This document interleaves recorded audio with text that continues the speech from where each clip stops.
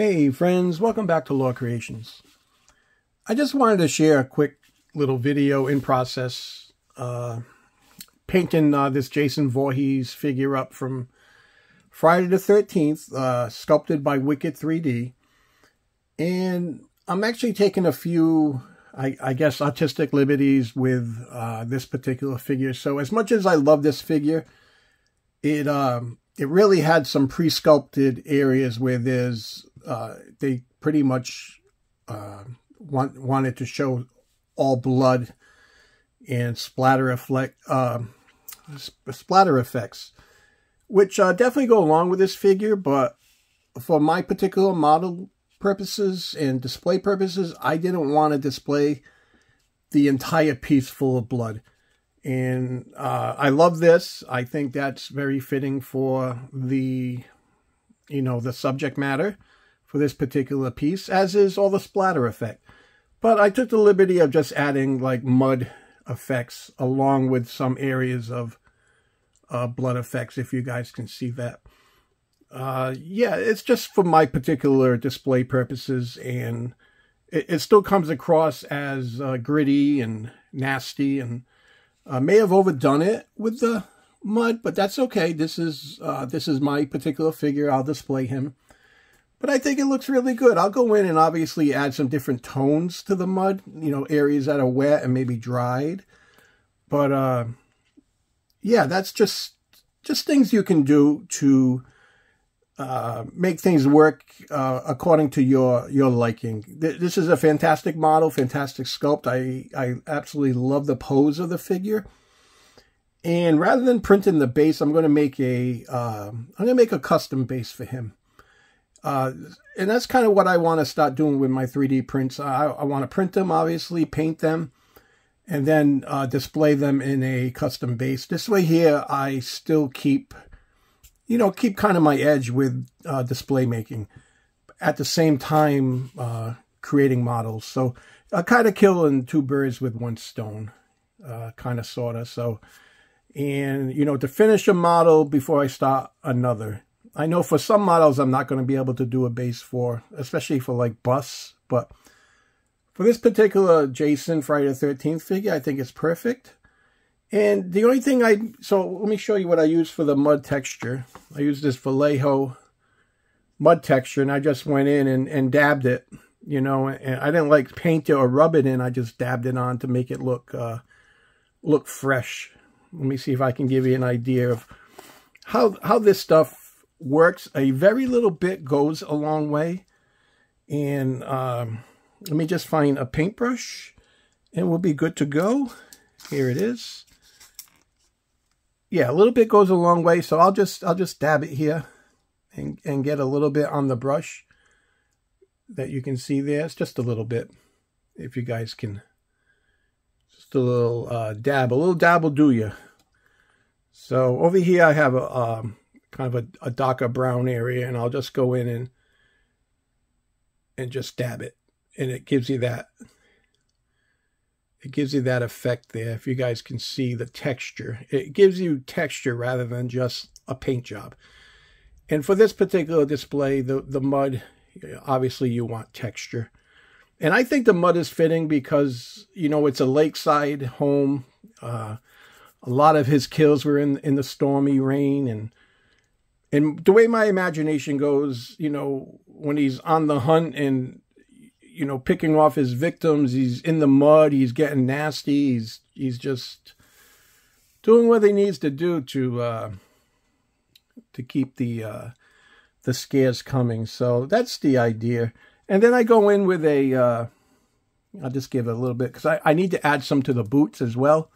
I'll give you an example of what they put into the sculpt, which is is really cool. But you see that on his right sleeve here? That's blood splatter. And it was it was sculpted in, in everything in, in the back of his of his shirt over here, which is great, which, you know, it, it, can be wonderful for a lot of people. But for me, it, it was just a little much for my display purposes.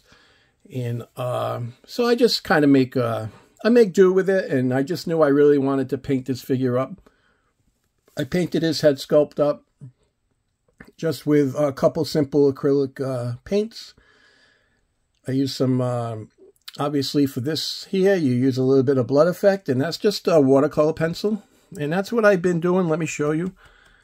In areas where, actually, you know what? I didn't even do his boot for you guys. Let me just give you an idea of, of doing his boot. So you just come in and and just do it a little little dabs to give you an idea.